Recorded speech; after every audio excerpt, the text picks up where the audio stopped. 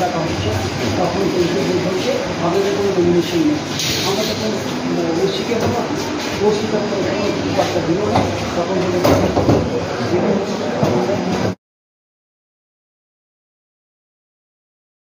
মনোনয়ন জমা দেওয়াকে কেন্দ্র করে কংগ্রেস নেতাকে মারধরের অভিযোগ উঠল তৃণমূল কংগ্রেসের বিরুদ্ধে।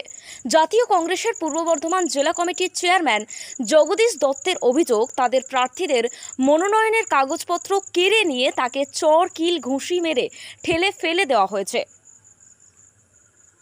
আমরা বেলা এগারোটার সময় নমিনেশন ফাইল করি আমাদের মাটিগ্রাম অঞ্চলে। তারপরে ওখানে অফিসে বললে, আমরা বাইরে যান ফাইল করে দেওয়ার পর বাইরে যান, ডাকবো। তারপরে প্রায় দুটো পর্যন্ত ডাকছে আমাদেরকে ফের গেছে। তখন তারপরে বলছে যে আমাদের ফাইল পাচ্ছি না। নাই, আপনারা যাননি। বিডিওকে কমপ্লেন করার পর বিডিও বলে আমি ফর্ম দিচ্ছি, আপনি করে দিন, এইগুলো নেই। বিডিও অফিসেই চার পাঁচজন মিলে ওটা ফিল আপ করে দিলে।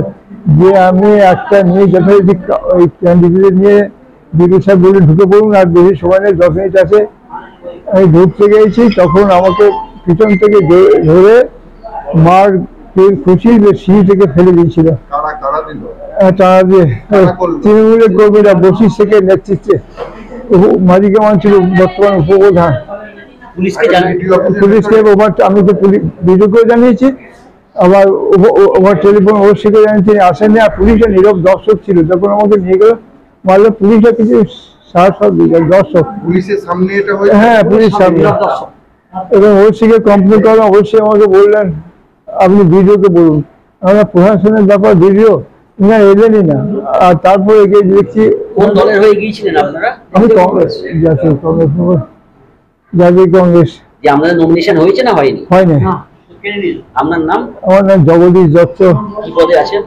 আমি গোটা পূর্ব বর্ধমান নির্বাচন কমিটির চেয়ারম্যান পঞ্চায়েত নির্বাচন কমিটির চেয়ারম্যান পূর্ব বর্ধমান জেলা বৃহস্পতিবার মনোনয়নপত্র জমা দেওয়ার শেষ দিনে মঙ্গলকোট ব্লক অফিসের এই ঘটনায় চাঞ্চল্য ছড়িয়েছে।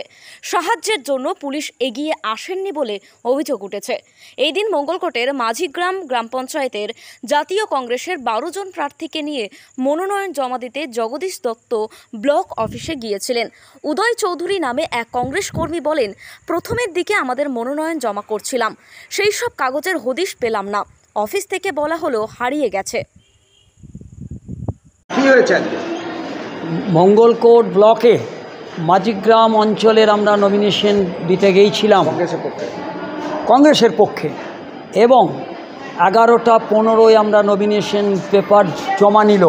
কিন্তু রিসিভ কপি দেয় না দিলও না। তারপরে দুটোর সময় যখন আমাদের ডাক হলো তখন কিন্তু আমাদের ডাক হলো না আমরা গেলাম তখন আমাদের সমস্ত নমিনেশন পত্র লোপাট করে দিতে আপনারা জমা দেননি। আমরা সেখান থেকে প্রতিবাদ করে বেরিয়ে এলাম।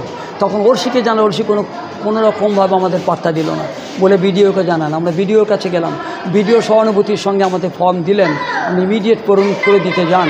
আমরা পনেরো মিনিট থাকতে জগদীশ যা ফর্মটা নিয়ে গেলাম আমরা নিচে রয়েছে আর দুটোকে নিয়ে যাব। তখন জগদীশ তাকে ধাক্কা মেরে পুলিশের সামনে ফেলে দিল। তৃণমূলের গুন্ডারা বুঝেছেন তো? এবং মাঝিগ্রাম অঞ্চলের বশিরের নেতৃত্বে উপপ্রধান বশিরের নেতৃত্বে তৃণমূলের গুন্ডারা। তখন জগদীশ দাকে এমন ধাক্কা দিয়ে ফেলে দিলে সিঁড়ির কাছে বুকে মারলো আঘাত হলো। এই হচ্ছে আমাদের ঘটনা আমরা প্রতিবাদ করেও কিছু করতে পারলাম না। কজন গেছিলেন? কজনের মনোনয়ন জমা দিচ্ছিল? আমরা মনোনয়ন জমা একটা বাঞ্চ আমরা দশ বারো জন। হ্যাঁ। যে তাহলে আর হলো না। এখানে কে নিয়ে এলো? হাসপাতালে কারণ হলো? কারে আমার হসপিটালে আমি জগদীশ দাকে নিয়ে এলাম আমার নাম উদয় চাঁদ চৌধুরী। ওখানে কেউ সাহায্য করল না? না কেউ না। আমি গুরু সদয় চৌধুরী আমরা মাঝিগ্রাম নিয়ে এলাম। ওখানে কেউ সাহায্য করেনি। থানায় অভিযোগ করবেন? থানা অভিযোগ আমরা করব করার ইচ্ছা আছে আমাদের। কারও থানা তো নিল না ওখানে তো করতে গেলে আবার মারতো সেই জন্য আমরা অন্যভাবে করতে চাই। এই দিন আধ ঘণ্টা সময় হাতে থাকতে বিডিও সাহেবের হস্তক্ষেপে ফের মনোনয়নের ফর্ম পেয়ে জমা দিতে গেলে ব্লক অফিসের দোতলায় তৃণমূল কংগ্রেসের দুষ্কৃতীরা জগদীশ দত্তের উপর হামলা করে। চর, কিল, ঘুষি মেরে জগদীশ দত্তকে সিঁড়ি থেকে ফেলে দেওয়া হয়। এই ঘটনায় জখম কংগ্রেস নেতা জগদীশ দত্তকে কাটোয়া মহকুমা হাসপাতালে ভর্তি করা হয়েছে। সাহায্য করতে কেউ আসেনি। অন্যদিকে তৃণমূলের তরফ থেকে মারধরের অভিযোগ অস্বীকার করা হয়েছে। Bureau report, news network seven. Katwa Goenka মোড় সংলগ্ন এলাকায় ব্যবসার জন্য দোকানঘর সেলামি দেওয়া হবে।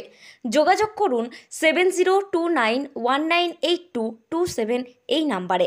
হলমার্ক সোনার গহনা কেনার একমাত্র ঐতিহ্যশালী স্বর্ণ প্রতিষ্ঠান, শ্রী ধীরেন্দ্রনাথ দত্ত গোল্ড প্রাইভেট লিমিটেডের শ্রী সুখেন দত্তের দোকান।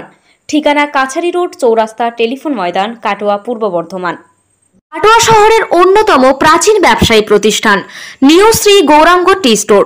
প্রসিদ্ধ চা ব্যবসায়ী, খুচরো ও পাইকারি চায়ের এই প্রতিষ্ঠান শহরে প্রায় আশি বছর ধরে সুনামের সঙ্গে ব্যবসা করে চলেছে। ঠিকানা কাটোয়া স্টেশন বাজার চৌরাস্তা।